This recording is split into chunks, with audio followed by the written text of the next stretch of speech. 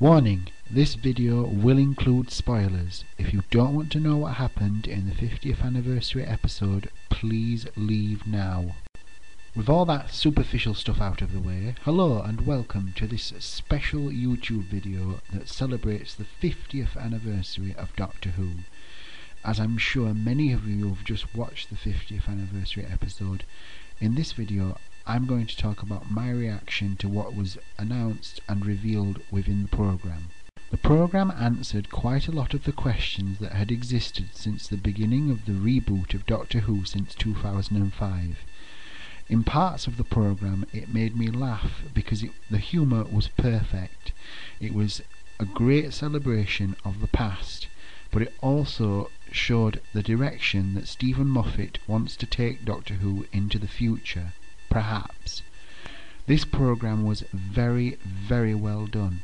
The production of it was also high quality and it showed what could be achieved when you when you have a team that's able to bring out their true imaginations and show great diversity and given unlimited options on what they are able to do. John Hurt as the Mystery War Doctor was a masterstroke. The man is a genius and he is an acting legend and he was a perfect choice for being the War Doctor. David Tennant, who is by many regards the most ultimately the best Doctor in the modern incarnation of the show, was also brilliant as always, and it was nice to see him return to the role. Matt Smith's Doctor was also fleshed out more. I felt that I started to gain a more better understanding of Matt Smith's Doctor and his vulnerability and his, you know, his scaredness, how scared he was about facing his past. this show showed that there is a lot to the depth of Doctor Who and that the future looks even more like it's going to have a lot more depth to it as well. I felt that this program also connected quite a lot of different things and aspects throughout the Doctor Who, lore and mythology. It did show us parts of the Time War, but it didn't show us everything, and maybe Steven Moffat wants to keep this behind and show us it later on maybe. It also showed that there are different parts of the Doctor's character, and it increased his um, character and made him more of a three-dimensional person, and increased his ability to be approached in different ways. Um, the episode also showed that not every action has the consequence that you would imagine.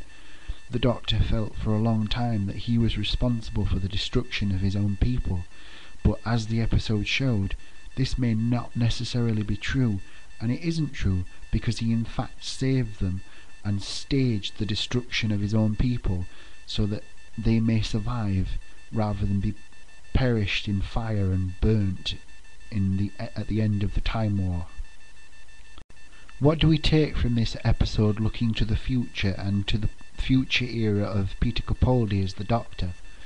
Um, this episode shows that the Time Lords do exist and they still exist in the Doctor Who universe, but their location and where they actually are is still a mystery.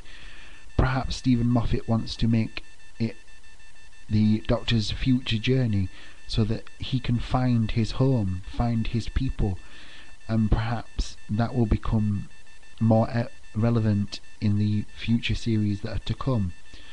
The Time Lords are not destroyed.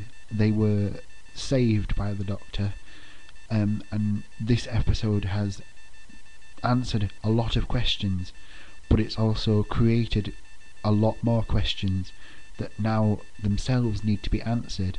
And I'm sure the team on Doctor Who will keep answering these questions, but by doing so, create more questions that need to be answered, if that makes sense. This episode has looked to the past and celebrated the past of Doctor Who, but it's also propelled the show into the future and given it given it a long distant future that where the Doctor has a goal to find his home, find his people, find the people he thought he'd lost and destroyed in the at the end of the Time War. This episode has, as I said, it's it's answered quite a lot of questions, but it's created more, and and I welcome the opportunity in the future episodes for these questions to be answered. I'd like to say a big happy birthday to Doctor Who on its 50th anniversary.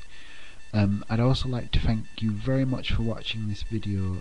Um, I know it may seem a bit rushed and a bit quick, but I've tried to get this video done and finished relatively quickly just after the episode is finished. Um, and I would like to ask all of you that to share this video, like this video, comment and tell me what you think of the 50th anniversary episode. What did you like about it? What did you not like about it? What do you feel its message is for the future of Doctor Who?